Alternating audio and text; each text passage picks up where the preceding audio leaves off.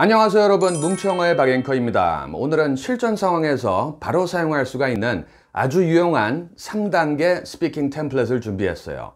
낱개 문장으로도 물론 따로 활용할 수가 있지만요 이 3단계를 엮어서 연속으로 활용했을 때 파급력이 훨씬 더 클 거라고 생각합니다. 누군가가 서운한 말을 했을 때 받아치기 딱 좋은 speaking template인데요 바로 이겁니다. 입장을 바꿔 생각해봐. 내가 뭐뭐 하면 넌 기분이 어떻겠니? 뭐뭐 하는 거 아니야. 이 영어 뭉치 템플릿을 연속으로 매끄럽고 시원하게 구사하실 분들은요. 이 영상을 끝까지 봐주세요. As the nation's housing rental prices keep soaring,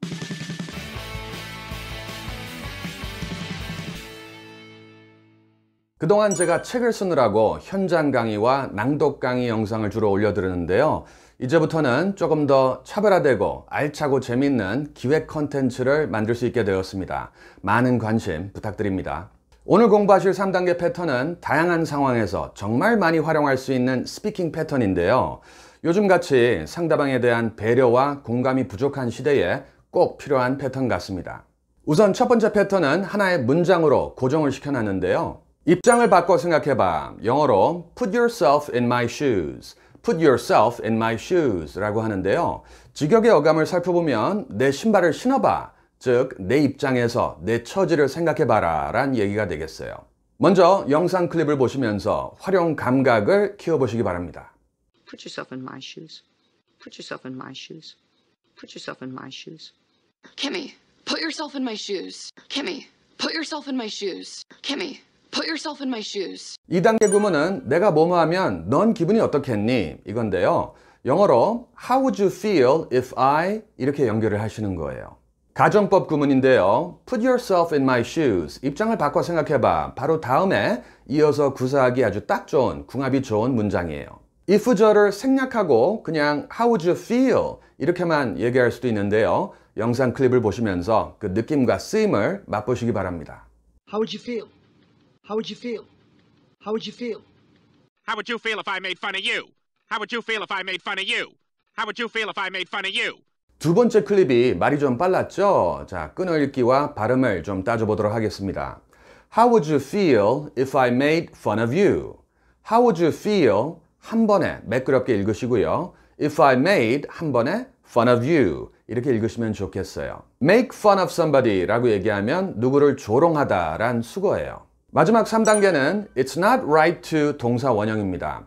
right은 올바른, 합당한 이란 뜻이죠. 그러니까 to 이야 하는 것은 올바른 행동이 아니야 라는 의미가 되겠어요. It's not right. It's not right to steal. It's not right. It's not right to steal. It's not right. It's not right to steal. It's not right for me to have it. It's not right for me to have it.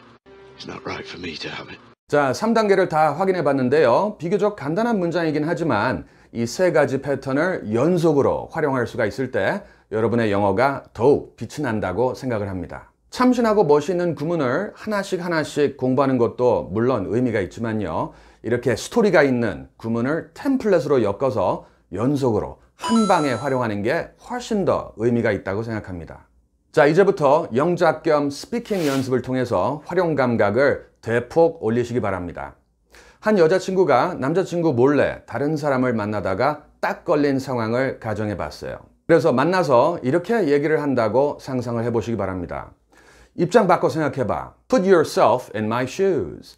Put yourself in my shoes. 내가 몰래 누군가를 만나면 넌 기분이 어떻겠니?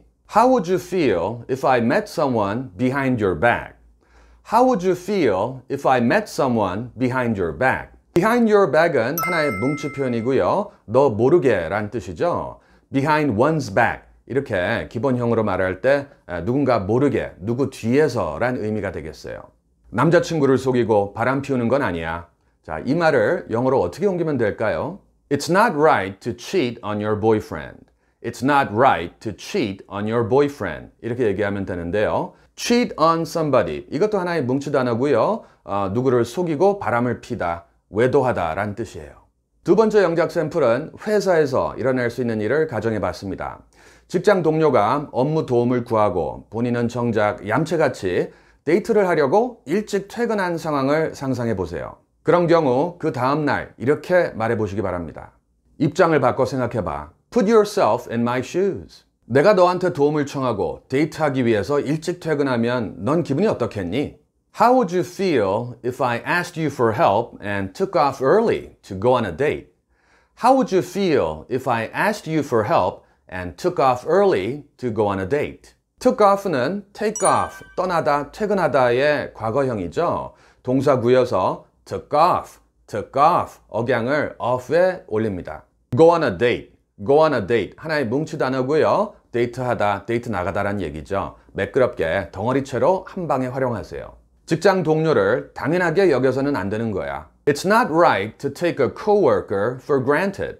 It's not right to take a coworker for granted. Take somebody for granted. 이것도 굉장히 중요한 수거 구문이죠. 하나의 뭉치 단어인데요. 누군가를 당연하게 생각하다, 누구를 당연시하다란 뜻이에요. 그런데 이렇게 얘기하면 너무 nice하고 점잖게 느껴질 수도 있을 것 같아요. 차라리 그냥 개욕을 하는 게 나을 수도 있겠네요. 세 번째 마지막 영작 샘플은요. 친구가 나한테 말 실수를 한 상황이에요. 여러 사람들과 만나는 자리에서 나의 외모를 가지고 디스를 했을 때 그냥 넘어가지 마시고요. 이렇게 말해보세요. 입장을 바꿔 생각해봐. Put yourself in my shoes. 친구들 앞에서 네가 붉은 털 원숭이처럼 생겼다고 말하면 넌 어떻겠니? How would you feel if I said you look like a rhesus monkey in front of your friends? How would you feel if I said you look like a rhesus monkey in front of your friends? 친구를 그렇게 조롱하는 건 아니야. It's not right to make fun of your friends like that. It's not right to make fun of your friends like that.